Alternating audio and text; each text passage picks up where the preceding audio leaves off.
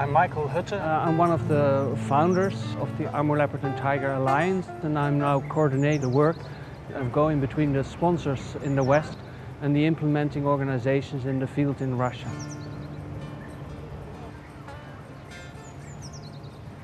The Russian government at the moment is not uh, uh, taking care of nature at the moment, so it's basically ALTA, this group of Russian and Western NGOs, is the only hope the leopards have.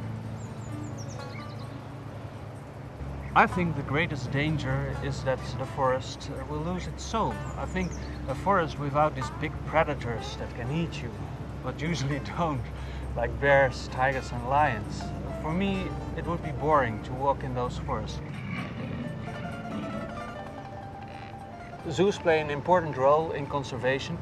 First of all, they breed rare animals, including the Amur leopard. So there are now 150 in zoos, which is five times more than in the wild.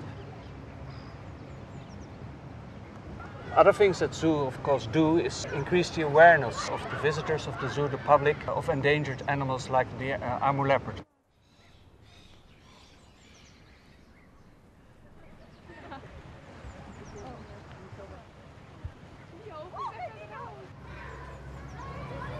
The Amur leopard in the wild is the rarest cat on earth.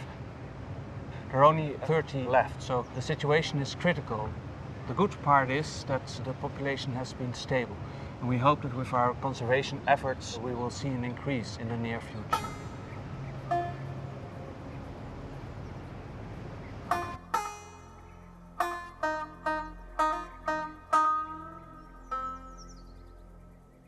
There are many threats that uh, the Amur leopard faces. First of all, his habitat, the forest in which it lives, is being threatened by fires. The amount of good forest diminishes every year because people set fire to the forest because it stimulates the growth of fern.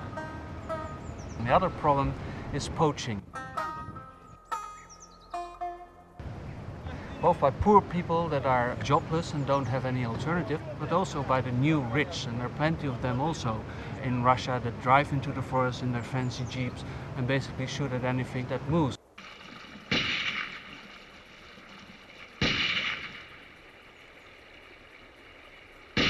In 2005, the whole environmental community, both locally in Russia and internationally, had a big campaign against an oil pipeline plan. The Russian government selected the center of the, this place where these 30 last leopards live to build the end point of the oil pipeline, which would basically have meant the end of the Amur leopards. The animal would certainly have gone extinct. Our role was uh, making a local campaign into an international campaign. So what we did was collect all the information, uh, contact all the journalists for all the big English papers all around the world, Washington Post, New York Times, Financial Times, make sure it's being published. We invited the BBC who did a feature on it then we contacted all the banks and gave them this information about why this was a very stupid idea and that there were alternatives, much better spots to build this terminal where no harm would have been done to the Amur leopards and to the environment in general and asked them not to get involved in this. And we were successful. They wanted $6 billion for this project, uh, this pipeline company, and they didn't get any money from any Western bank. Finally, they decided to move the pipeline to another spot, so they rerouted it, and now the terminal is being built in an industrialized area where it will do very little harm. In our education uh, project for the Amur leopards, uh, we focus on, on schools, on school children.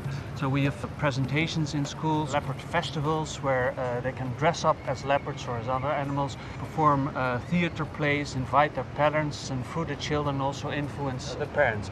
It's clear if we don't act now, within the next five years, that we're going to lose the, the Amur leopard. So in the next five years, uh, um, what we want to achieve is to uh, make all the local conservationists, the local cons uh, conservation efforts and the international conservation efforts hook up with international governments and uh, make people aware that something needs needs to be done and also convinced Russian uh, government that they should take certain steps for the protection of their nature and their rare animals especially the Amur leopard.